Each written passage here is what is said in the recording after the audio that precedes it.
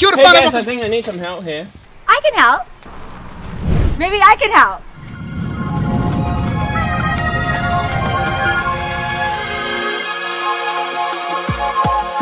Kia ora whanau, welcome back to another exciting episode of Chichiramana. We'll give you the next of Christchurch. Got my friend Shane here this week. Hi everyone. We're here at Little River, just inside of Christchurch, checking out SiloStay. Look efficient toilet. The water that you use to wash your hands goes straight to fill the tank. Now that's sustainability. Okay, so I'm upstairs here in the master bedroom. That bed is amazing. The view is incredible, and the shower spectacular. Here's why. Check it out. All the hot water that comes out of the shower goes through these pipes, making your towel nice and dry. So if you love the environment And you're looking for quality, and you need a place to stay, come check it out.